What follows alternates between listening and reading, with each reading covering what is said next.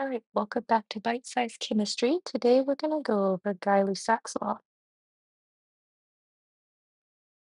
And Guy-Lussac's law relates pressure and temperature. Like Charles's law, it's another direct relationship, meaning that if pressure increases, temperature also increases, and vice versa. Now we can describe the effects of Guy-Lussac's law using the following equation. Your initial pressure, or P1, over your initial temperature, and setting that equal to your final pressure over your final temperature. Some things to be aware of is that your pressure units must match.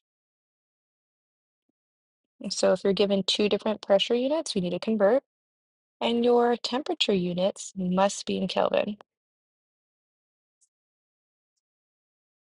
If not, do you need to convert them so that it is.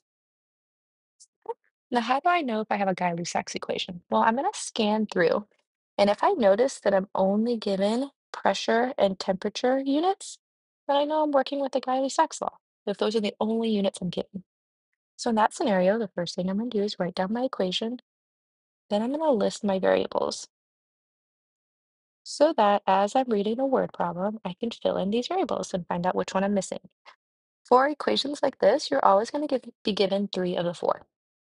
So let's read. A sealed canister of gas has a pressure of 2.5 atm. So that's my first pressure.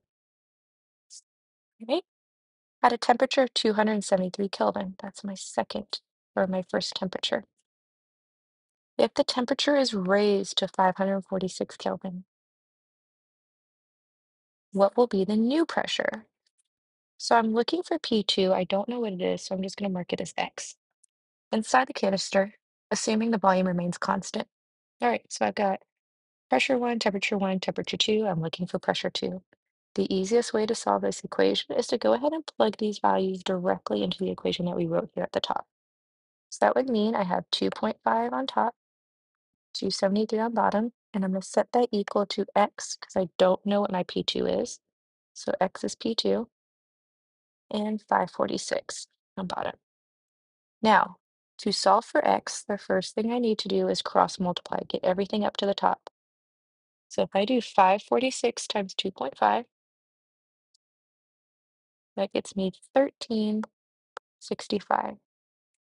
And then if I do 273 times x, that's going to get me 273x.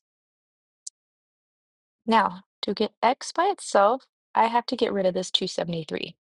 And because right now the x is multiplied by 273, if I divide it by 273, I'll get x by myself or by itself because these values will cancel out. Now, in algebra, whatever I do on the right side of my equation, I have to do on the left side. So now my equation looks like this. 1365 over 273 equals x. Solve for that. 1365 divided by 273 gets me 5. Okay. Now, what is x in this equation? Well, we said x was P2. So this 5 is really our P2 value. So P2 equals 5. And then I'm going to look because my initial pressure was an ATM, my final pressure must also be an ATM because my units must match. So the answer to this problem is 5 ATM. Notice how when we increase the temperature from 273 to 546, our pressure also increased from 2.5 to 5. All right? See you next time for another gas law.